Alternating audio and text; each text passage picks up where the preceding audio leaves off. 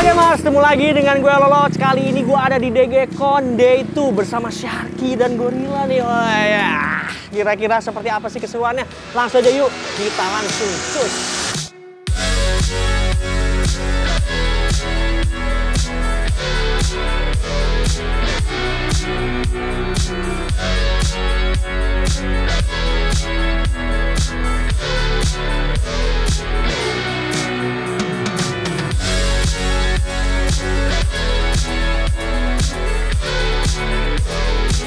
Halo gamers, ketemu lagi dengan gue Lolo. Sini di sebelah gue ada Ketua Region Bogor, Devito, Evos Fans. Mantap nih, gue mau nanya-nanya sedikit nih.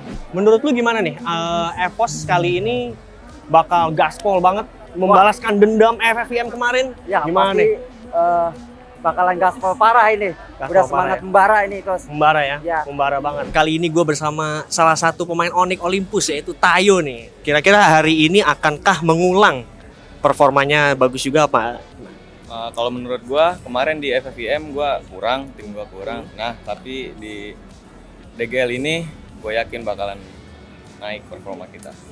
Kali ini gue udah bersama OP Esports yaitu Bapia nih. Nah ini gue mau nanya-nanya dikit nih. Siapa sih tim yang paling paling kalian waspadai di DGL 2022 untuk hari ini? Kalau tim yang diwaspadai sih ibaratnya semua tim ya, semua tim harus diwaspadai karena kita ya respect semua tim lah ya. Soalnya bahkan tim yang ibaratnya kita anggap lemah pun bisa jadi kuat di di round-round selanjutnya juga gitu. Jadi ibaratnya semua tim kita waspadai. Tapi yang paling diwaspadai siapa nih? Ya tentunya yang tim-tim ibaratnya yang udah punya sejarah juara-juara kayak misal EVOS atau Onyx, ya RRQ kemarin barusan. Ya, Kali ini gue udah bersama salah satu tim komunitas Edan Esports dan ini adalah kaptennya yaitu Jarot. Nah, tim yang paling kalian waspadai di DGL 2022 kali ini.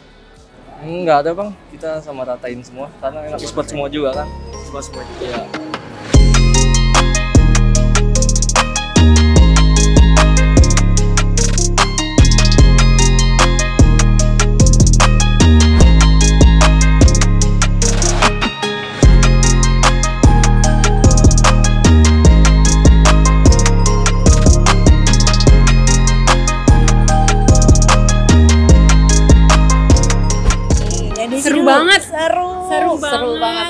Lihat juga ini juga rame banget ya antusias para pengunjungnya juga luar biasa karena banyak but-but menarik juga di sini. Iya, dan ini kan diselenggarakannya 28 sampai 30 ya. Bener, Jadi kayak hari. seru banget dan tadi tuh ada talk show juga di mana pembicaranya semuanya keren-keren banget. Ada 12 sesi loh. Yes, Kita benar menjadi penutup sesi. Keren-keren. Terus kayak jangan lupa semuanya datang ke sini ya Yes. ke DGCon 2022 Iya. karena selain ada but-but menarik besok juga ada JKT48 tampil. Alma alma mater kita. Iya. Alma mater kita. Halo gamers, gue sudah bersama First Raiders Eclipse Joker nih. Gue mau nanya-nanya sedikit nih. Nih menurut lu, siapa sih tim yang paling lu antisipasi dan pengen lawan di day 1 ini?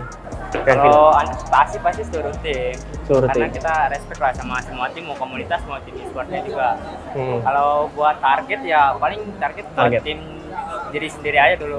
Tim diri Kalau sendiri kita dulu. pengennya juara sih. Kayak Pengennya nggak- juara. nggak terlalu pentingin tim lain kayak Hmm. sama diri diri Oke. kita aja. sendiri. Halo gamers, gue udah bersama Foxa Athena nih. Nah kali ini gue mau nanya sedikit, gimana melihat atmosfer DGL ini bertanding sama tim-tim pro kayak RRQ sama EVOS gimana? menurut? Kalau saya yang jadi tantangan baru lah bang. Tantangan baru. Ya, jumpa-jumpa orang-orang besar, tim-tim besar. Hmm. Tapi buat tim kami sendiri nggak jadi patokan takut akan mereka. Oh gitu, oke. Poin di peringkat berapa nih? Target peringkat hari ini berapa? Langsung tabrak di posisi satu atau main slow dulu apa gimana? Eh, konsisten di top 3 aja sih.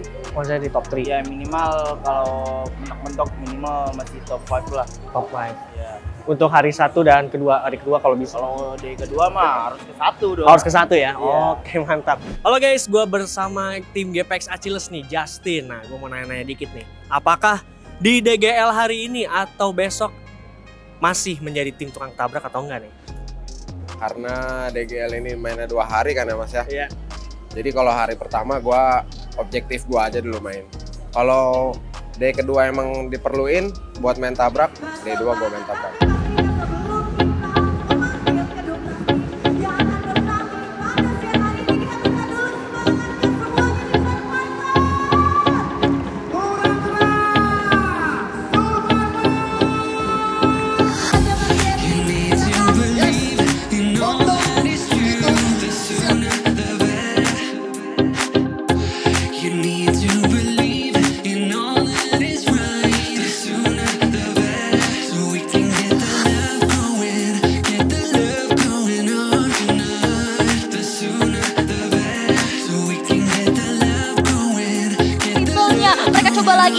Ngeliat ke arah point ordinary dan mau dieksekusi. Tapi Ivo sepertinya mau coba join fight-nya. Lo lihat langsung dijabanin lagi. Bio sama Rasya udah mulai maju. 05 udah mulai maju juga. Sam di belakang. Tapi Sam seharusnya bakal ketemu dengan Tayo di samping. Tapi OP-nya ditumbangkan terlebih dahulu. Ivo sempat memegang kendali dan akhirnya seorang Rasya pun coba nembak sekali ke arah Sam di depannya. Tapi ternyata belum ada knockdown yang berhasil didapatkan. Rasya coba pegang kayu pelontarnya. Cari momentum lagi. Cari angle yang bagus. Tapi sekarang posisi dari pertahanan tim point